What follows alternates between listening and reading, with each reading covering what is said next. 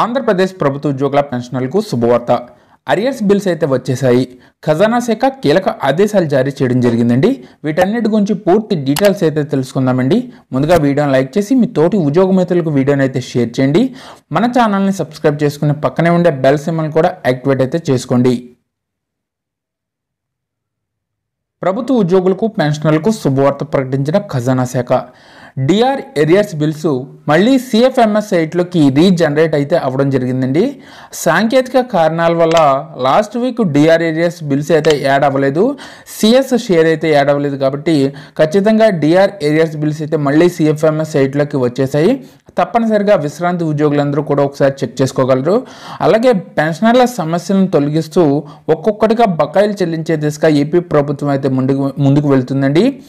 So ఖచ్చితంగా ఎంప్లాయీస్కి సంబంధించి pending DA DR arrears bills అయితే ఉన్నాయి కాబట్టి జూలై నెలాఖరికల్లా ఈ బిల్స్ అన్ని క్లియర్ చేసేందుకు ఆంధ్రప్రదేశ్ సర్కారు సన్నాహాలు అయితే స్టార్ట్ చేయడం జరిగిందండి. ఖచ్చితంగా పెన్షనర్లకి అలాగే ఎంప్లాయీస్కి సంబంధించి పెండింగ్ బిల్స్ ప్రాధాన్యత క్రమంలో క్రియేట్ చేసుకుంటా ముందుగా అయితే వెళ్తుంది కాబట్టి పెండింగ్ బిల్స్ అయితే ఈ నెలాఖరికల్లా క్లియర్ అయ్యేందుకు అవకాశాలు అయితే ఉన్నాయండి.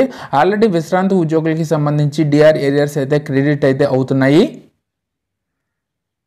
పెండింగ్ బిల్లులు చెల్లించాలని చెప్పేసి టీఎన్ యుఎస్ డిమాండ్ అయితే చేయడం జరిగిందండి. సో పెండింగ్లో ఉన్న ఉపాధ్యాయుల యొక్క పిఎఫ్ ఏపీజీఎల్ఐ ఎర్న లీవ్ నగదుకు సంబంధించిన బిల్లులు చెల్లించాలని చెప్పేసి టీఎన్ యుఎస్ అయితే డిమాండ్ చేసింది.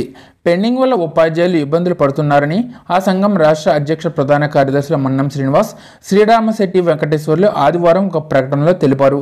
పదిహేను రోజుల్లో రావాల్సిన భవిష్య నిధి రుణం మంజూరుకు ఏడాది వరకు సమయం తీసుకోవడం శోచనీయమని పేర్కొన్నారు. కుటుంబ అవసరాలకు పిల్లల చదువులు పెళ్ళిళ్ళు వైద్యానికి ఇబ్బందులు పడుతూ వాయిదా వేసుకుంటున్న పరిస్థితిని ప్రభుత్వం గుర్తించాలని కోరడం జరిగింది.